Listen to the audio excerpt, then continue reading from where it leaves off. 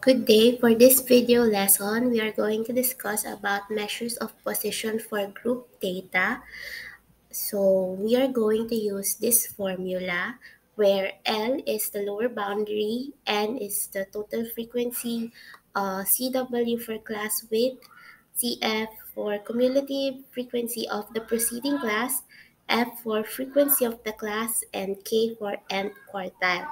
So I is for if it, the unknown is quartiles, uh, 10 if the unknown is deciles, and 100 if the unknown is percentiles. So this is the formula. We have L, uh, we're going to add over uh, Kn over I minus Cf all over frequency um, times the class width. So for our first example, we have to find the first quartile. So the scores of grade 10 students in math quiz. So their scores are from 21 to 25. Uh, the frequency is 2. So 2 uh, students uh, ranges the scores from 21 to 25. We have 26 to 30, 9 students, 31 to 35, 13 students, 36 to 40, 11 students, 41 to 45, 10 students, and 46 to 50, we have 5 students. So for the cumulative frequency, uh, we start uh, from the 21 to 25. So we're just going to copy the frequency which is 2. And um, to get it, we're just going to add the next frequency, which is 9. So 9 plus 2 is 11 and uh, so on. There.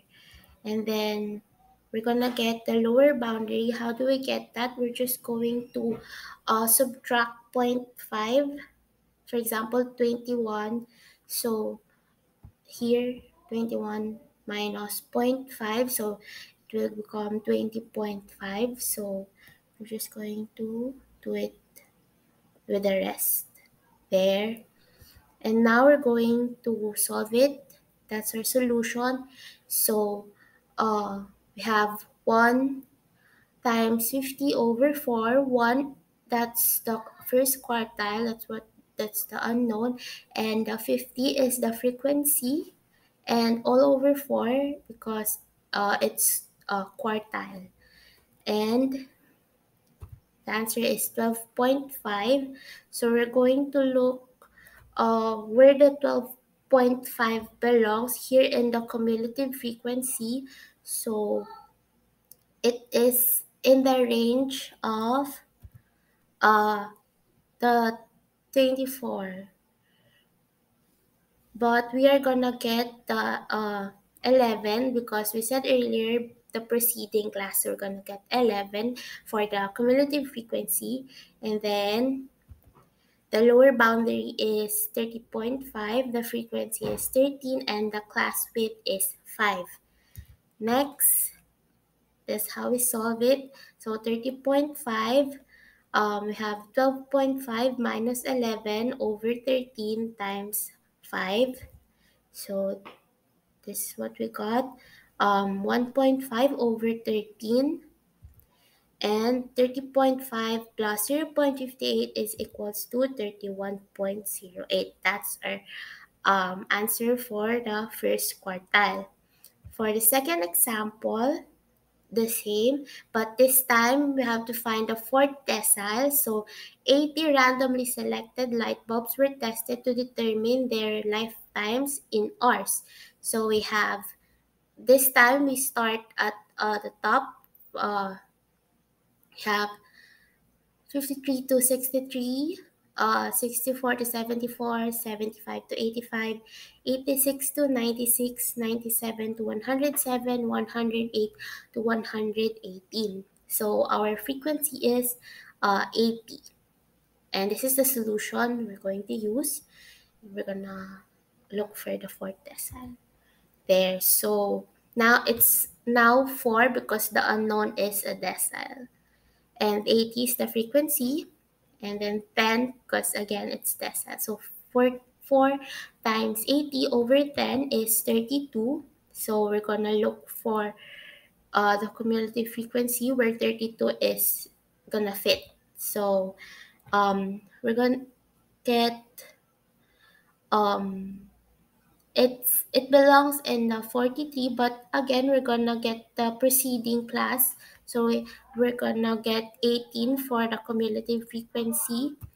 And for the lower boundary we're gonna get 74.5 frequencies 25 and cumulative uh, I mean sorry class width is 11 so that's how we're gonna uh, solve it. 32 minus 18 32 is from the uh, first solving solution. Uh, 18 is the cumulative frequency and 25 is the frequency. And then 40 74.5 um, plus parenthesis uh, 14 over 25 close parenthesis times 11 and we have 74.5 plus 6.16 the answer is 80.66. So that's our answer for the second example. And for our last and third example, we have to find the 70th percentile.